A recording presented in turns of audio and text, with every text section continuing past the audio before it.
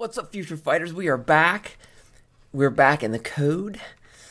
We are working on some great stuff today. Uh, this is the website here in the background. We'll get to that in a minute. But what we want to get back to is we want to get back to our move files.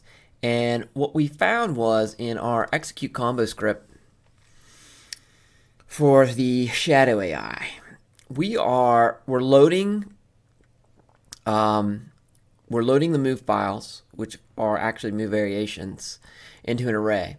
And we are, let's see here, uh, one, two, here's move files right here. And then that array has a certain number of move files. So we're grabbing an index from those variations. And we are um, making a combo out of whichever one we kind of pick. And I'll let Shadow choose at random. And the randomization, it helps for humanization. So you're not facing the same thing every time he chooses this particular move category.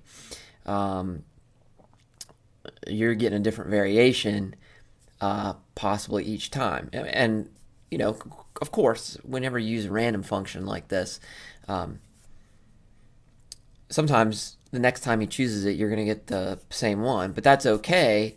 That's part of fighting as well, is baiting your opponent with repetition, letting them think there's a pattern, and then changing up.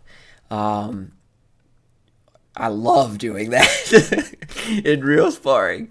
Oh, I do that all the time. Um, you know, I'm pretty good at picking up on my opponent's patterns. Uh, and if you can trick your opponent into thinking you have a pattern, then you can make them go where you want them to go.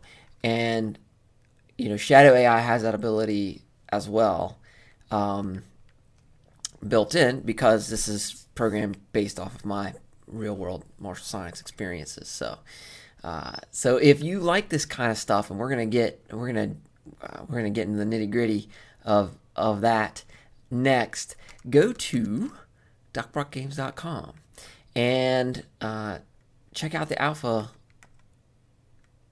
uh, features of the game. You can check out all the list of features. You can check out the characters. You can check out the screenshots. And most importantly, put your email address here and I'll notify you when it comes out. Then come back to YouTube because we're going to make more AI. I'll see you then.